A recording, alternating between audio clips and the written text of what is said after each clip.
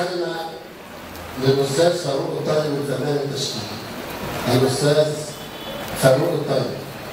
طيب إحنا آه، هناخد كلمة من الأستاذ أشرف كمال على بالنا الأستاذ فاروق آه، يجي ولكن هي هتكون الختام الأستاذ أشرف كمال.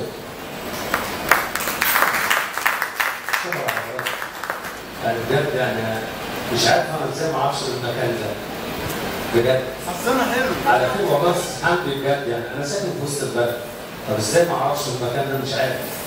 وبعدين يعني بجد إحنا في حالة جفاف ادبي بعد اللي شفته النهارده كم الشعراء والأدباء اللي موجودين إحنا إحنا عندنا يعني فجوة رهيبة جدا جدا جدا محتاجينها. بجد. محتاجينها في مدارسنا محتاجينها في إعلامنا محتاجينها في يعني حاجات كتير جدا.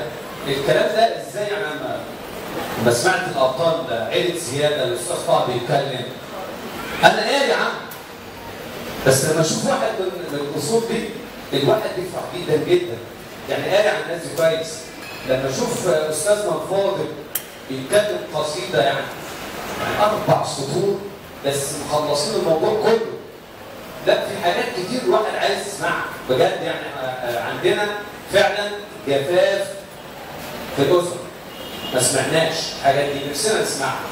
لكن أنا هرجع للأستاذ ده. حبيبي والله أنا على فكرة إن شاء الله بإذن الله بإذن الله إن كان لنا في العمر بقيه بإذن الله في أي فعالية أنا موجود معاكم بإذن الله تعالى. في أي موضوع على فكرة يعني بفضل الله تعالى أي موضوع أنا موجود معاكم. وقادر على ان أنا اتحدث بإذن الله تعالى. حتى عندنا الأستاذ دهب بقى القائد لأن هو جاب سيرة واحد.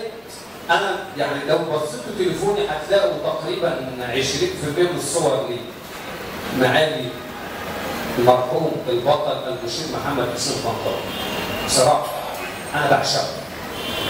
بعشقه لسببين اللي خلاني حبيته أكتر 2011 2012 ليه؟ أنا بعتبر كان أصعب من حرب أكتوبر. كان أصعب من 67 بجد. إن الراجل يوصل بينا لبر الأمان بدون ما الدولة المصرية تنهار لا. أنا بعتبره أنا بقولها دايما كده. من أعظم من تولوا قيادة الدولة المصرية عبر تاريخها من أيام الملك مينا لغاية النهارده. راجل حكيم. وده ليه؟ لأنه أصوله أسوار. أصوله.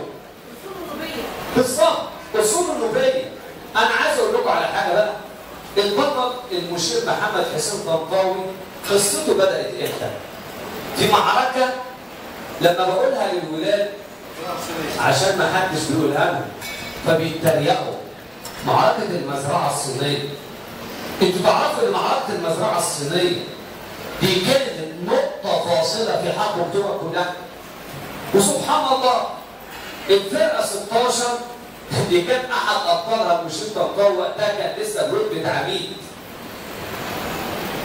لما هنا الفريق أول سعد الدين الشاذلي أمر الرئيس السادات إن هنا في عملية رأس الغزاله إن هم هيعبروا للضفه الغربيه عشان يطوقوا الجيش الثاني ويحاصروه ولازم نلحق نقفل المنطقة دي عند البحيرات المرة اللي بنسميها تفر سوار المنطقة دي. فهنا نبحث مين؟ ما كل الفرق عبرت جوه فقال له لا ده إحنا عندنا فرقة مشكلة. فرقه 16 وفيها مجموعة مدفعيه انسى مين اللي ماسك الفرقة دي؟ كان أحد أبطالها العميد محمد حسين طنطاوي. محمد حسين طنطاوي خد فرقته وراح عند منطقة الدفر سوار في المقدمة بتاعتها كده وقال لرجالته مفيش واحد يولع سيجارة. لا ليل ولا نهار. فتعجبوا يعني إيه ما نولعش سيجارة؟ ده عساكر عايزين يشربوا سجاير. ده عايز يفوت الحرب.